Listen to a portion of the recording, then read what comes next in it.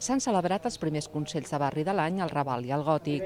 Les sessions van servir per fer balanç de la campanya de sensibilització ambiental que el districte va posar en marxa fa sis mesos i per presentar els resultats de la campanya de seguretat durant el 2013, uns indicadors que demostren el descens de delictes respecte de l'any anterior.